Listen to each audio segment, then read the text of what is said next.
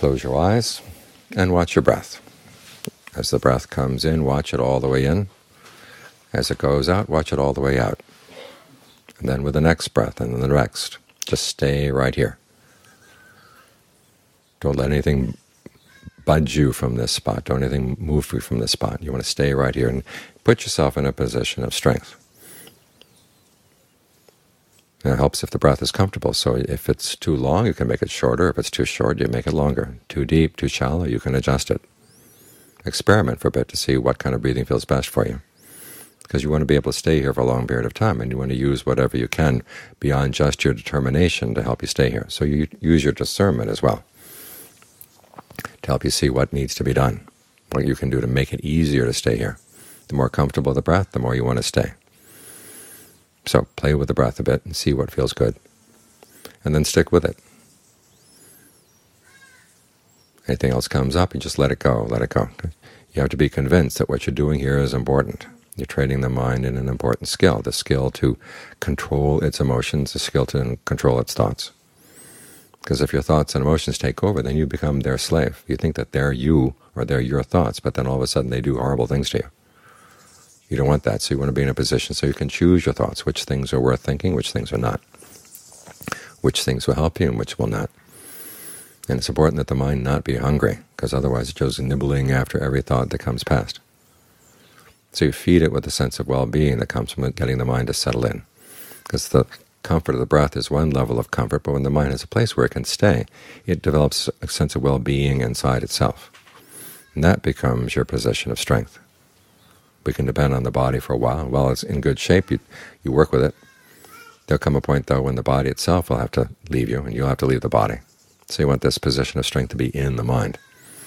And a lot of that has to do with the mind's ability to choose its thoughts, choose when to think, choose when not to think. If you just think, think, think, and feel, feel, feel all the time, it's like having a knife that you use and you never sharpen. You just chop, chop, chop, chop, chop.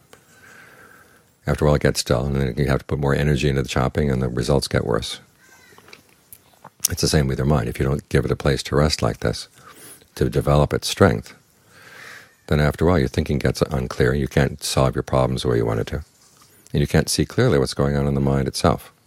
So give the mind a place to rest, and not just rest, but also to develop its mindfulness, its ability to keep something in mind, and its alertness, its ability to be clear about what's going on here.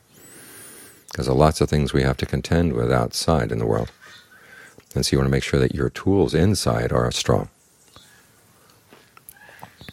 and that you're coming from a position of strength. If you don't have one solid place to stand, then there's nothing you can do to anybody else. It's like being on a, a field of ice. You slip around, slide around. If someone comes and gives you a push, you just go in line with the push. But if you're standing on firm ground, you've got a good grip, they can push you, and no matter how hard they push, you can push back. So you need a position of strength like this inside to keep you going. So work on this. Make it your place. This is your spot. Nobody else can experience your body from within. You're the only one who can. So make this a position that you come from strength.